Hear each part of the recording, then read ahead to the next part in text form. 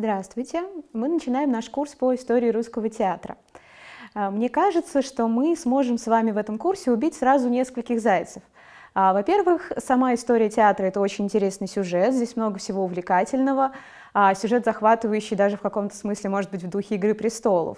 Да, вот, э, например, мы будем с вами говорить о том, любил ли театр Петр Великий, да, или, например, как относилась к театру Екатерина II, это все ужасно интересно.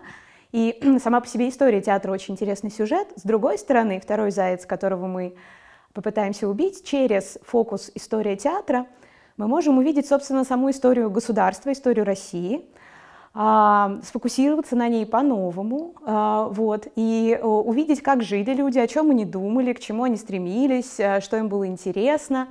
Поэтому мы говорим и о театре, и о истории России сразу. Убиваем сразу нескольких зайцев. На следующем слайде вы сразу же можете увидеть э, некоторые книги по истории русского театра для самых любознательных, для тех, кто хочет больше а, узнать. А, может быть, вам известно такое выражение, популярное у нас в академических кругах, мы карлики, стоящие на плечах гигантов. Что это значит? Мы можем увидеть чуть больше, а, потому что у нас есть замечательные предшественники, которые многое уже описали, концептуализировали, да, рассказали нам. Вот, поэтому, конечно же, всегда важно знать о том, что мы начинаем не с нуля.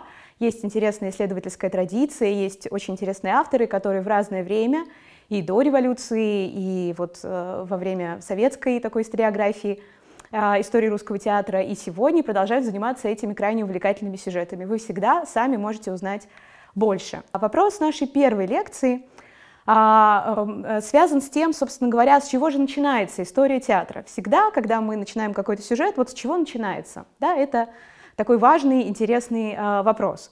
И мы обязательно к нему подойдем, э, если э, сначала сделаем несколько таких предварительных шагов, и в конце придем к э, да, ответу на вопрос, который нас так интересует, с чего же вообще начинается история русского театра.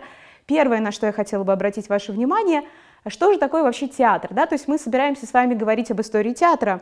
О чем же? Казалось бы, с одной стороны, слово театр всем ясно, всем совершенно понятно. Думаю, ни у кого оно не вызывает вопросов, э, да, там, я же не говорю дивергенции отклоняющихся средних, театр, все ясно.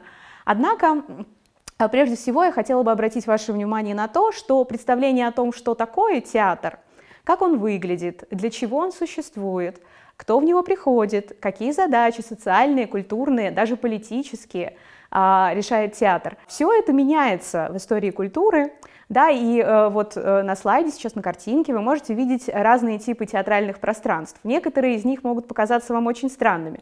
Античный амфитеатр, да, наверное, вы знаете о том, что такой тип театра существует.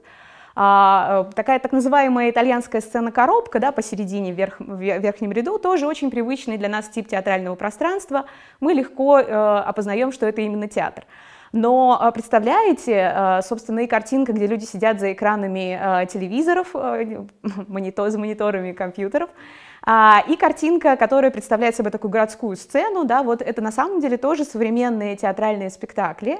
А, вот, значит, люди перед мониторами это театральный проект э, «Театр на длинной дистанции», роман на длинной дистанции. А, здесь люди смотрят спектакль по скайпу. А вот эти э, значит, э, замечательные жизнерадостные люди на улицах, которых, которых вы видите внизу, да, значит, это спектакль Remote Moscow, который происходит прямо на улицах города. Сценой становится сам современный город, в данном случае Москва. Поэтому ответ на вопрос, что такое театр, не так прост. И э, говоря про историю русского театра, мы все время будем уточнять, а что же мы имеем в виду под словом театр? Да, оказывается, что все не так просто. А мы будем смотреть на театр как на искусство. Конечно же, это первый ответ, который приходит всем нам в голову, когда мы задаем этот вопрос, что такое театр. Конечно же, это искусство, к нему применимы эстетические категории красота, да, там выразительность формы. А с другой стороны, театр, и для меня, как для культуролога, это очень важно, и мы будем это в курсе затрагивать, а, очень важно, что театр является частью культуры. Что я имею в виду? А, если мы рассмотрим культуру как такой сложный пазл, а, да, и состоящий из множества частей, которые связаны между собой, театр окажется кусочком вот этого сложного пазла. С одной стороны, театр будет связан для нас уже в наших первых сюжетах сегодня и да, в следующей лекции. Театр будет связан с темой государства, государственной политики, например, да, как части культуры. Театр будет связан с религией, а театр будет связан с придворной жизнью, а, в общем, с очень разными сюжетами. Это не только искусство, это гораздо шире а, и больше, да, и вот это э, такая интрига, да, театральная интрига нашего курса. Театр как часть культуры, театр в его взаимосвязи а, с другими культурными сферами. И э, еще одно, да, такое важное для меня замечание, которое будет э, для всего курса таки, таким сквозным, да, такой сквозной нитью, э, мы говорим о том, что э, театр — это не только то, что мы будем с вами говорить о том, что театр — это не только то, что мы можем увидеть на сцене, на театральных подмостках. А, непосредственно спектакль, который начинается после третьего звонка и заканчивается бурными финальными аплодисментами. Наверное, вы тоже обращали внимание, и вот, может быть, даже можете сейчас проделать такой интерактивный момент, поставить э, лекцию на паузу, попытаться дать самостоятельно ответ, а потом мы сверим да, э, наши ответы друг с другом. А, в нашей жизни, повседневной, медийной, социальной, есть довольно много явлений, которые мы считываем как похожие на театр. Да, это не театр в чистом виде, это не театр на сцене, это не игра актеров, но элементы театрализации – связанные с ролью, да, с игрой, а, с сценой, с драмой, а, да, вот с такими словами, с такими понятиями, эти элементы мы можем встретить и в нашей повседневной э, жизни. Да, например, социологи говорят про то, что социальная жизнь устроена через социальные роли. Да, вот сейчас, например, я в роли лектора, да, и тут тоже есть некоторый элемент театрализации, а, да, например, кроме того, у меня есть гендерная роль, да, то есть я представляю какой-то определенный тип женственного поведения, то есть вся социальная жизнь, например, это театр с ролями, да, а, существует выражение театр военных действий, а, да, и тоже почему-то это называется театром. А, очень театрализован, например, суд, да, где есть адвокат, прокурор, как антагонист и протагонист, есть э, какая-то прям сцена, выделенное пространство. То есть э, театрализован спорт, например, да, э, подумайте, что общего между футболом и спортом, господи, футболом и театром, простите. А, да, а, значит, довольно много всего, там даже игроки в футболе выступают в определенных амплуа, амплуа театральное слово.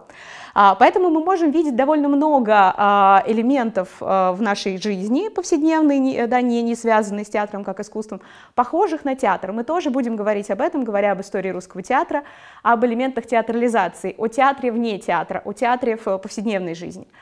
Эм, конечно же, также э, нам необходимо, это мы сейчас очень коротко сделаем обзорно, задаться вопросом, что такое история. И всегда помнить о том, что любая история, в том числе та история, которую, которую буду рассказывать вам я, это, это лишь рассказ, есть еще такой термин да, в социогуманитарных науках – нарратив.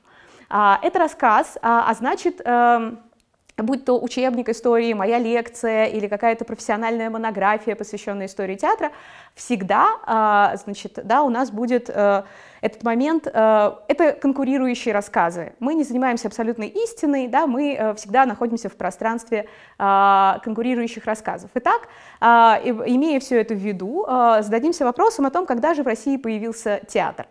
И э, тут, возможно, я вас разочарую, однозначного и правильного ответа на этот вопрос нет, и вот почему.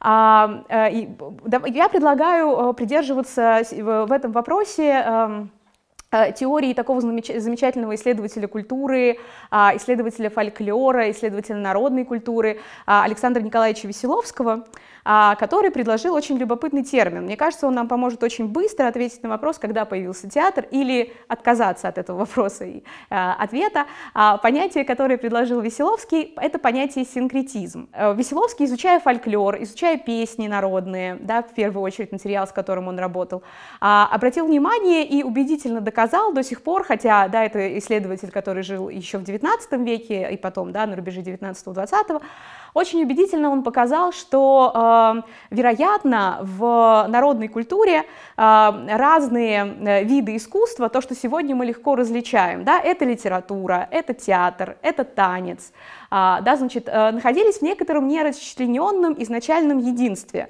Поэтому я выбрала такую метафору клубка, да, в которой все переплетено. То есть долгие-долгие тысячи тысячи-тысячи-тысячи лет назад а, все искусства, в том числе и театр, а, пребывали в некотором таком нерасчлененном единстве, а, пока, да, значит, сознание людей не научилось разделять, категоризировать и, э, да, не стали появляться отдельные виды искусства и жанры. В данном случае таким, такой формой синкретической, из которой вырастает театр, но, конечно, это произошло так давно, что мы не сможем ответить на вопрос, когда именно это произошло. Да, вот такой формой, например, можно эм, считать хоровод, да, вот все мы, наверное, там, да, с, э, как-то э, с детства и детских игр каких-то примерно с этой формой знакомы, вот фольклористы, да, говорят о том, что если мы посмотрим на такую форму, да, получается, что в хороводе есть пение, есть текст, да, который, из которого потом вырастет, э, собственно, литература, есть элементы движения, да, из которых потом, например, вырастет хореография и танец, и есть в этих вот таких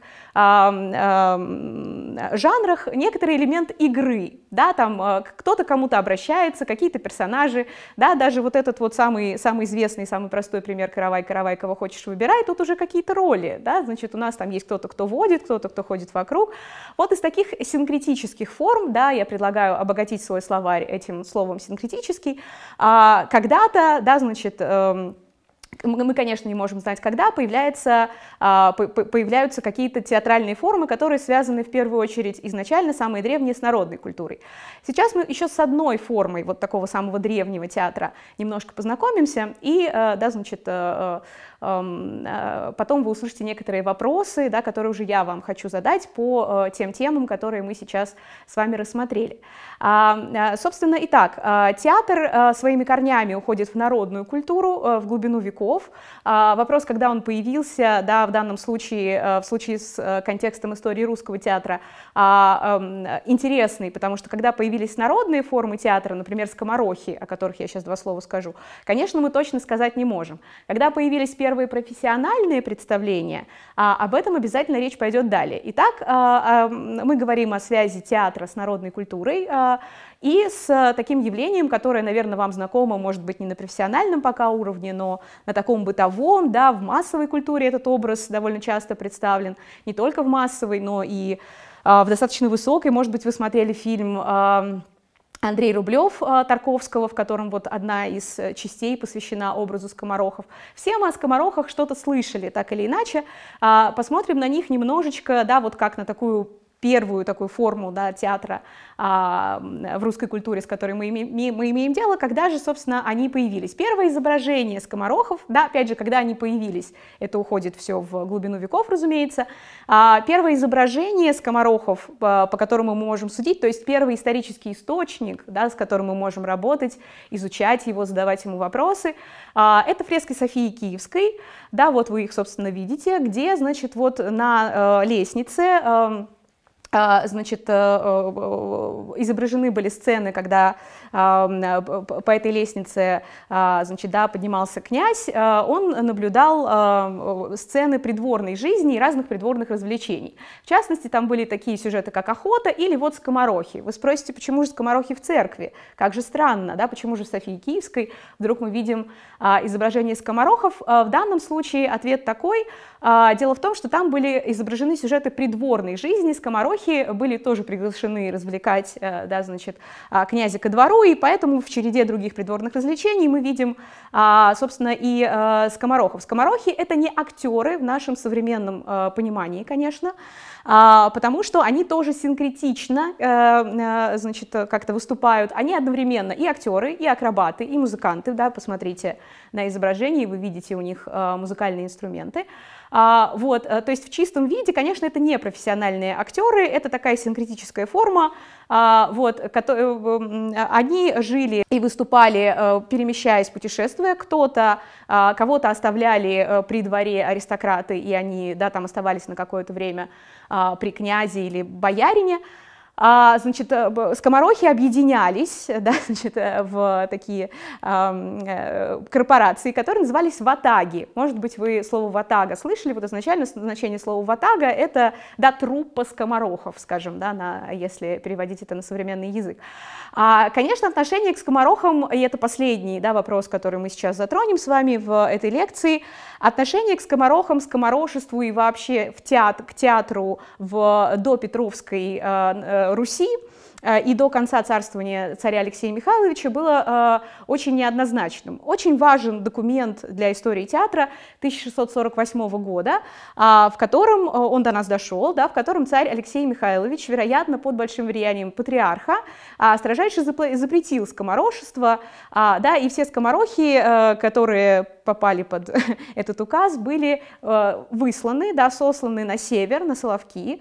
Значит, да, указ Алексея Михайловича, как вы видите, да, звучал так, личин на себя никаких не накладывали, и кобылок бесовских не наряжали, а где объявятся домбры, и сурны, и гудки, и гусли, и хари, хари это маски, да, значит, и всякие гудебные бесовские сосуды, и, и ты те бесовские велел вынимать, и изломав те бесовские игры велел э, жечь. Конечно, скоморошество с его э, такой жизнерадостностью, жаждой жизни и веселья, веселья э, такого вот э, человеческого и земного, э, могли отвлекать э, христиан от настоящей духовной жизни, и э, поэтому э, скоморохи постоянно подвергались критике со стороны а, церкви, а, да, и там, э, кроме этого указа у нас есть и другие документы, в которых, например, говорится, что если какой-то боярин к себе скоморохов призывает выступать за ужином, то можно сказать, что у него за его, да, значит, вот, за его, за его плечами прям вот бес стоит, если он, когда он смотрит скоморохов. Конечно же,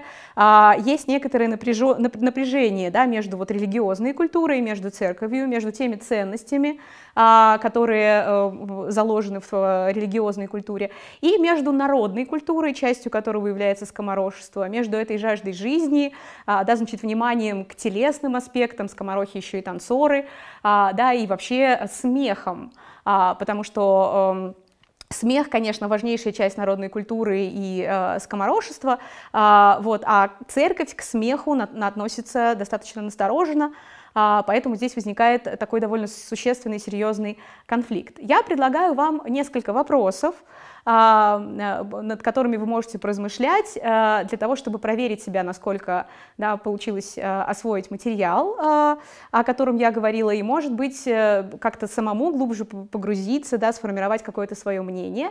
А, первый вопрос, с какими областями культуры соседствует, пересекается театральное искусство? Какие-то из них я называла, может быть, вы придумаете еще, да, какие-то сферы а, культуры, которые с театром как-то соприкасаются. Вот мы уже, мы уже затронули тему театр и церковь, например, да, через а, Скоморохов. А, поговорим в следующей лекции буквально о театре и государстве. А, вот, а, предлагаю об этом поразмышлять. А, второй вопрос с подвохом. Что появилось раньше, театр или литература? Здесь тоже есть пространство для ваших, ваших размышлений, есть подсказка в одном да, термине, который я э, упоминала в начале лекции. А, и э, интересно было бы, как мне кажется, подумать над тем, что отличает скоморохов, о которых мы говорили в последней части лекции, от э, современных профессиональных а, актеров. Я буду рада, если вы попробуете ответить на эти вопросы, и э, э, информация, которая я с вами поделилась, покажется вам полезной и интересной. Спасибо за внимание.